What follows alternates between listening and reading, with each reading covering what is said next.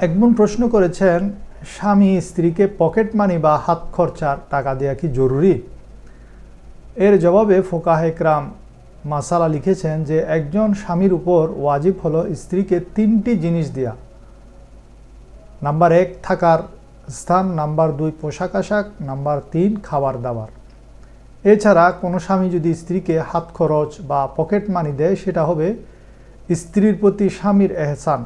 কারণ শরীয়তে স্ত্রীকে এই তিনটি জিনিস দেওয়া ওয়াজিব, যাকে আমরা সাধারণ ভাষায় ভরণ পোষণ বলি। এই ভরণ পোষণ দেওয়ার পরে অতিরিক্ত পকেট মানি দেওয়ার কোনো বিধান শরীয়তের মধ্যে নাই।